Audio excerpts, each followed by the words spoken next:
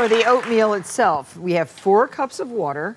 Have you cooked uh, this? This these are uh, wonderful steel cut oats. I actually have. Yeah. Yes. And uh, if you have forgotten to soak them overnight, I often soak them in water first, so that it takes less time. That's a but, great tip. but we are going to add one cup of Irish oats to four cups of water, and uh, with a half a teaspoon of salt, and cook those um, for about um, three minutes just until they start to thicken.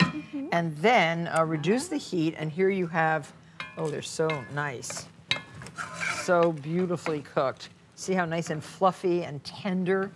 Um, and just keep tasting until they're done to your, till your um, taste. And then I will turn this off. We're gonna add three quarters of a cup of wheat berries. Okay. And these have been pre-cooked so that they're nice and tender. Wonderful. Wheat berries just enliven this and oh, I've actually it. never had wheat berries before. Oh, good. Are you going to like them? I'm they're excited. Crunchy. And three quarters of a teaspoon of cinnamon.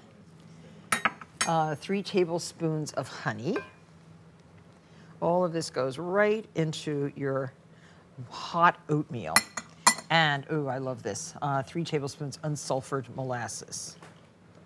So, tastes sounding good to you? It sounds wonderful. I've Yeah. actually never had this combination a- before. It's a very nice, healthy breakfast. And uh, stir this all up together. And the cinnamon is good. It's very healthy for you. The uh, the wheat berries offer um, lots of nutrients, Mm-hmm. and as do the oats. Very very nice. And a half a cup of milk. You know, if you're really skinny and feeling really good about yourself, a half a cup of heavy cream would be fine. But in January, after the holidays, milk. And you can use skim milk if you want. It's fine. Perfect. And so here we have our delicious, delicious oatmeal with wheat berries. And I'll give you a spoon and me a spoon. Thank you. Oh, I love this. And this is um, a nice recipe from my entertaining book.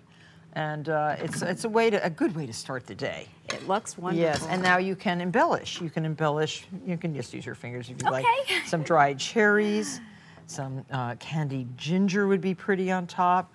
A couple slices of prune, some apricots. And now you don't have to use everything, but I like all of these dried fruits so much. Blueberries Yeah. and papaya. How beautiful, right? And then uh, a dollop of yogurt, low-fat yogurt if you like.